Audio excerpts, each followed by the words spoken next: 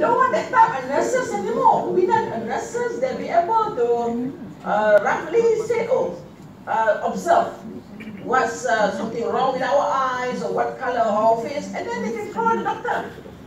This is what I observe. What can I do with this patient? So the doctor can mention, you know, because the doctor cannot be 24 hours Macam mana nak follow uh, looking over one patient. There's a so now, especially aging group now by 2030 will be about 35% aging group. Aging mean uh, uh, six series.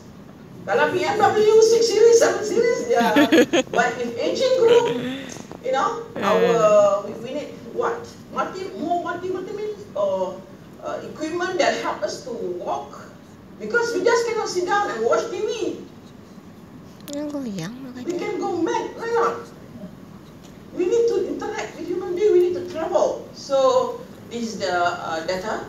Okay, when we talk about, uh, we have seen uh, the best practices in uh, Finland, we have seen uh, the challenges just now, when we, we know also where we are in the maths and science at the international level.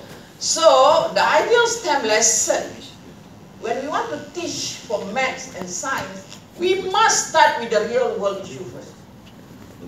I visited Singapore, uh, their primary school also, they're only starting. What's the Singapore challenges now? They said, my grandmother, very pretty, my grandfather, this thing. So they're talking about aging group. So how can we help?